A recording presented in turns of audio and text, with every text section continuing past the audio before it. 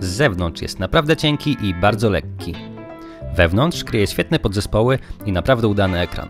To jednak nie koniec, bo jest tu jeden as w rękawie, którego zobaczymy dopiero w sytuacjach dość ekstremalnych.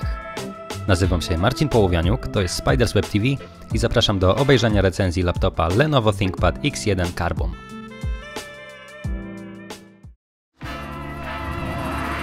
Na egzemplarz testowy tego laptopa czekałem z dużą ekscytacją. ThinkPad to klasa sama w sobie i naprawdę trudno przejść obok tej marki obojętnie. Pierwszym szokiem była dla mnie cena, która w zależności od konfiguracji wahała się między 7 a ponad 11 tysiącami złotych. Testowany przeze mnie laptop był wyposażony w nowoczesne i bardzo wydajne podzespoły. Na pokładzie znalazł się niskonapięciowy procesor Intel Core i7 szóstej generacji, 16 GB pamięci RAM oraz dysk SSD o pojemności 512 GB. Ekran tego laptopa to panel IPS o przekątnej 14 cali, przy czym klient podczas konfiguracji sam może wybrać jego rozdzielczość. Może to być albo Full HD, albo Quad HD. W moim przypadku był to ekran o tej wyższej rozdzielczości, czyli 2560 na 1440 pikseli. Jeśli chodzi o porty, mamy tutaj do dyspozycji OneLink Plus, Mini DisplayPort, pełnowymiarowe HDMI, trzy porty USB 3.0, wyjście audio jack, a także czytnik kart microSD. Bardzo ciekawie wygląda temat łączności bezprzewodowych, bo obok Wi-Fi i Bluetootha mamy tutaj też wbudowany router, do którego możemy włożyć kartę SIM. Według Lenovo ThinkPad X1 Carbon to najlżejszy 14-calowy ultrabook biznesowy, jaki jest dostępny na rynku. Biorąc to urządzenie do ręki, absolutnie nie jestem w stanie w to uwierzyć. Laptop waży tylko kilogram i 170 gramów. Dodatkowo laptop jest naprawdę niewielki. Obudowa ma zaledwie 16,5 mm grubości, a po otwarciu klapy jest ona wręcz niewiarygodnie cienka. Co ciekawe, klapę możemy otworzyć zupełnie na płasko. Mimo to jakość wykonania Lenovo X1 Carbon stoi na bardzo wysokim poziomie. Elementy są idealnie spasowane, nic tutaj nie trzeszczy, materiał obudowy ma przyjemną, delikatną i taką lekko chropowatą fakturę. Czuć, że mamy tu do czynienia z produktem klasy premium. ThinkPad X1 Carbon wyróżnia się przede wszystkim kapitalną klawiaturą. Nie ma tutaj sytuacji, w której zastanawiałbym się, czy na pewno wcisnąłem klawisz. Skok klawiszy jest dobrany idealnie, a informacja zwrotna o ich wciśnięciu jest bardzo czytelna. Klawiatura jest też oczywiście podświetlana.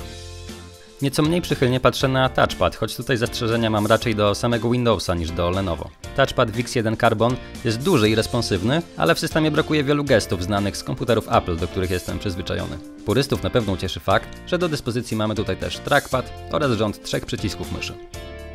Jeśli chodzi o ekran, zdjęcia i multimedia oglądane w wysokiej rozdzielczości prezentują się naprawdę pięknie. Co więcej, powłoka ekranu jest matowa, dzięki czemu jest on czytelny także na zewnątrz. Świetnym elementem tego laptopa jest jego bateria. Choć producent mówi tutaj o 11 godzinach, to niestety w praktyce nie udało mi się wykręcić tak dobrych wyników. Kiedy nie uciekamy się do żadnych sztuczek ze ściemnianiem ekranu czy wyłączaniem łączności bezprzewodowych, laptop jest w stanie działać przez około 7-8 godzin na jednym ładowaniu. Jest to i tak naprawdę dobry rezultat.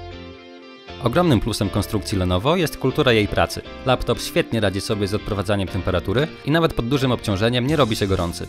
Przy ciężkich pracach wiatraczki są już mocno słyszalne, ale w prostych pracach biurowych laptop jest właściwie bezgłośny, m.in. dzięki zastosowaniu dysku SSD. Z kolei jeśli chodzi o wydajność, niskonapięciowy procesor Core i7 i 16 GB pamięci RAM wystarczą przy dowolnej pracy biurowej. Laptop radzi sobie świetnie z obsługą programów inżynierskich, ale także programów do edycji zdjęć i filmów. Nie muszę chyba wspominać o wydajności w pakiecie biurowym, prawda? Wydajnością rozczarują się jedynie gracze. Słowo carbon nie wzięło się w nazwie laptopa przypadkowo. Jego obudowa jest wykonana z użyciem włókien węglowych o standardzie NASA. Są one stosowane m.in. w satelitach. Dzięki temu nowy model X1 Carbon ma być najtrwalszym urządzeniem z serii ThinkPad. Ultrabook przeszedł 12 różnych testów według norm wojskowych. Postanowiłem, że nie będę ufał producentowi na słowo i sam sprawdzę, ile jest w stanie znieść Carbon X1. Pierwszy test polegał na... Ups!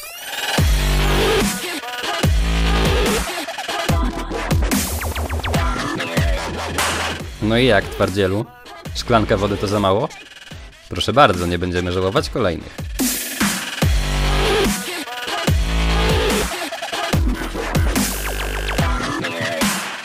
A co się stanie, jeśli zostawisz komputer w samochodzie, kiedy temperatura spadnie poniżej zera? Sprawdźmy to w zamrażarce, gdzie temperatura wynosi minus 18 stopni Celsjusza.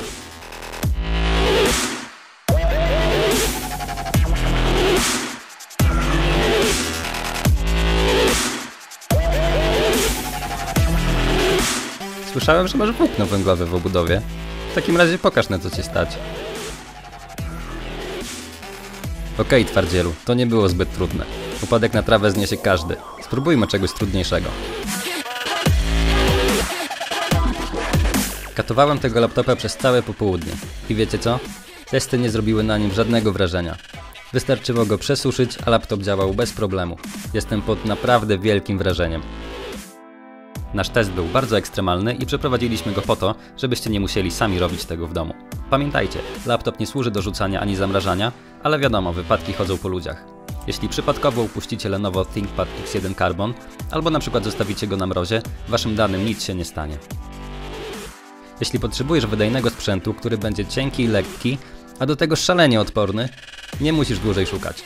Lenovo ThinkPad X1 Carbon idealnie spełni te wymagania, o ile oczywiście będziesz w stanie zapłacić za niego około 10 tysięcy złotych. Jeśli podobał Ci się ten odcinek, daj łapkę w górę i zasubskrybuj nasz kanał. Do zobaczenia następnym razem.